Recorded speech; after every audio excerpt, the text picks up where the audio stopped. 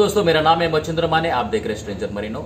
आज के वीडियो में हम ये देखेंगे कि अगर आपको डीपी वेसल्स में करियर करना है, अगर आप मेन फ़ील्ड से डीपी वेसल्स में आना चाहते हो तो आपके पास कौन से कौन से सर्टिफिकेट्स होने चाहिए, आपको कौन से कौन से कोर्सेज करने होते हैं, और क्या एलिजिबिलिटी है, और क्या स्टेप्स है। या अगर आप बस डीपी वेसल्स में ही करियर करना चाहते हो, अगर आप स्टार्टिंग ही डीपी वेसल्स में करना चाहते हो। डीपी वेसल्स मतलब ऑफशोर की जो इंपॉर्टेंट इंडस्ट्री है, जहाँ पर आज के डेट में ऑफशोर में सबसे ज़्यादा सैलरी मिलती है अगर आपको डीपी वेसल्स में आना है तो आपको कौन से कौन से कोर्सेज करने होते हैं? या उसकी क्राइटेरियाज क्या है? तो ये सारी चीज़ें बताने के लिए मैंने आज का वीडियो बनाया तो वीडियो पूरा देखना। वीडियो अच्छा लगा तो वीडियो को लाइक करो और चैनल को प्लीज़ सब्सक्राइब करो।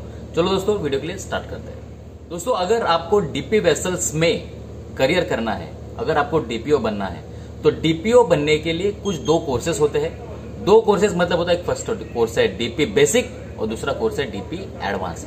तो डीपी बेसिक जो कोर्स है उसकी कीमत आज के डेट पे इंडिया में आ, कुछ फिफ्टी सिक्सटी थाउज़ेंड रुपीज़ चल रही है जो एक हफ़्ते का कोर्स होता है। तो डीपी बेसिक कोर्स करने के बाद में आपको 60 days onboard DP ship DP ship में आपको 60 days onboard DP days collect करने हैं। तो डीपी डेज़ क्या होता है कि आपका वेसल जो डीपी वेसल है जो डीपी चार्टर में है ऐसे नहीं कि बस आप डीपी वेसल पे चले गए जो एंगर्ड पे है, नहीं। आपका वेसल डीपी चार्टर में होना चाहिए। और डीपी डेज़ मतलब एक दिन में आपके वेसल का डीपी सिस्टम दो घंटे के लिए ऑपरेट होना चाहिए। अगर वेसल आपका दो घंटा ऑपरेट होता है तो आपका एक दिन काउंट हो जाता है। मतलब ऐसे भी हो सकता है कि आपने 90 डेज़ या 120 डेज़ कॉन्ट्रैक्ट किया, आपने 120 डेज़ शिप पे निकाले, लेकिन आपको 60 डेज़ भी डीपी डेज़ नहीं मिले। तो इसके लिए आपका डीपी डेज़ होनी चाहिए। डीपी डेज़ मतलब आपका शिप का जो डीपी सिस्टम है, वो एक दिन में दो घंटा कम से कम चलना चाहिए, तभी आपका एक दिन काउंट होगा। तो ऐसे आपको 60 डेज़ चाहिए। अभी क्वेश्चन ये है कि डीपी बेसिक कोर्स कौन कौन कर सकता है? डीपी बेसिक कोर्स करने के लिए आपके पास सीओसी होना चाहिए। सीओसी मतलब आप ऑफिसर होने चाहिए।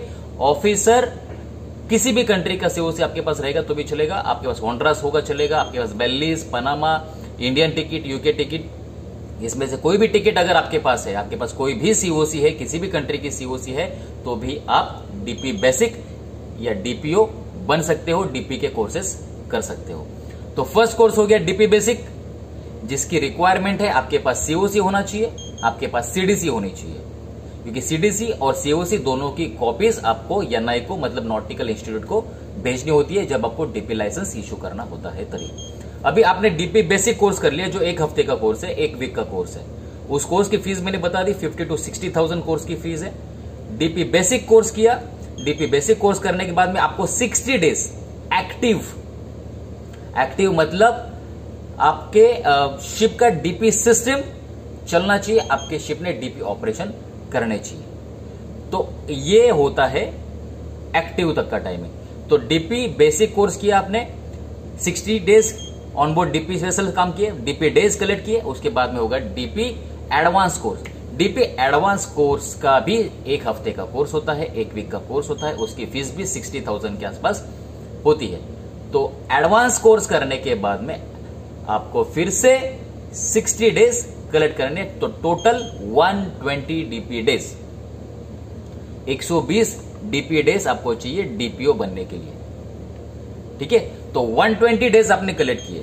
डीपी एडवांस के बाद में आपने 60 डीपी डेज़ दो घंटे का एक डीपी डे होता है। तो 60 डीपी डेज़ एडवांस कोर्स करने के बाद में आपने कलेक्ट किए, आपके शिप ने उतना काम किया, उसके बाद में आपका जो मास्टर है onboard ship senior DPO master हो सकता है या चीफ ऑफिसर भी हो सकता है।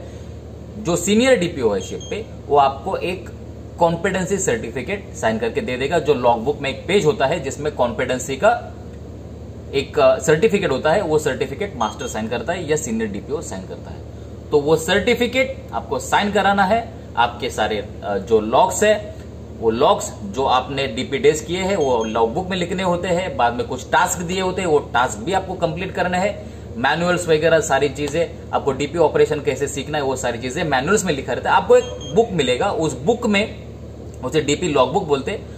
लॉग बुक में आपको सारी एंट्रीज आपके शिप ने कभी कभी डीपी ऑपरेशन किया वो सारी एंट्रीज वो लॉग बुक में लिखना होता है। वो लॉग बुक मास्टर साइन करता है या सीनियर डीपीओ साइन करता है।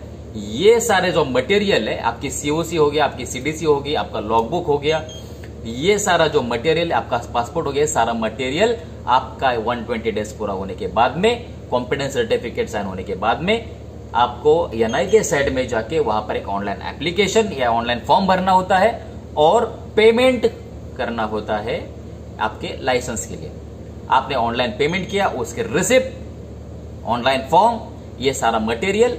एडिशनली आपको कंपनी लेटर भी लेना होता है। कंपनी लेटर मतलब कंपनी भी लिख के देगी कि ये जो सारी जो एंट्रीज है, ये सारी एंट्री जेन्यून है और इस डेट पे मेरे शिप का डीपी चला था और कंपनी एक एनआई को लेटर लिख के देती है।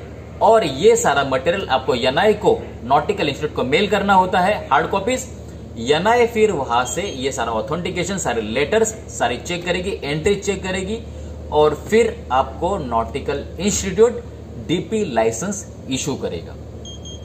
तो एक कार्ड जैसा नॉटिकल इंस्टीट्यूट लाइसेंस इशू करता है, तभी आप जब आपको लाइसेंस मिलता है, तब आप डीपीओ बनते हो। तो ये सारा प्रोसीजर है डीपीओ बनने के